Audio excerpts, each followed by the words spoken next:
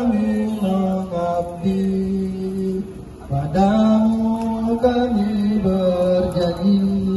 Mahasiswa melihat bahwa kita seribu orang di sini kawan-kawan.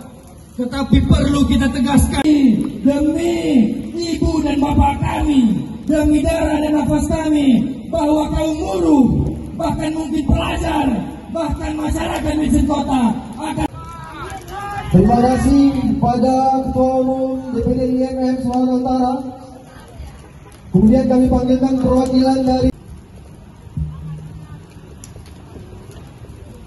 menyampaikan pendapat, ingin menyampaikan keresahan teman-teman. Ketika teman-teman, ketika teman-teman tidak mampu menyikapi, kita tidak mampu menyikapi, maka siapa lagi teman-teman? Siapa?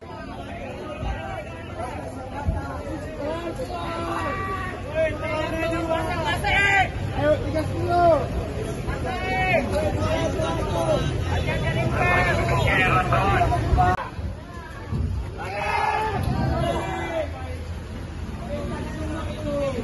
bujang.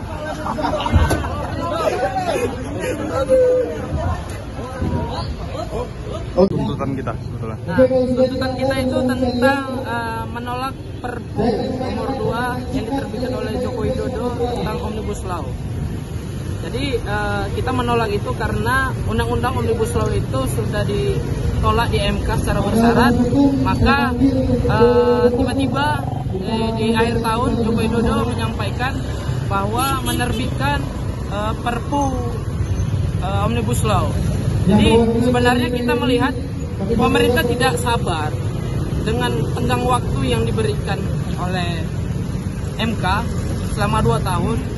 Nah, tiba-tiba dia menerbitkan itu. Jadi kita seakan-akan pemerintah yang harusnya sebagai guardian law ini malah tidak menjaga tapi mengangkangi putusan. Jadi pemerintah harusnya menghormati putusan yang sudah dilakukan MK. Jadi substansi itu yang yang utamanya yang kami sampaikan.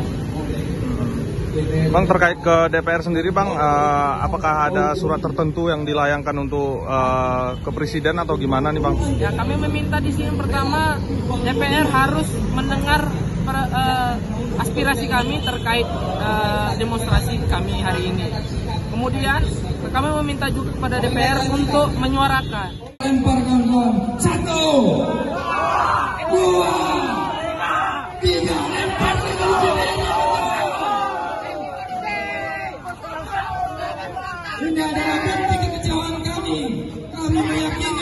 Bahwa anggota Dewan tidak mungkin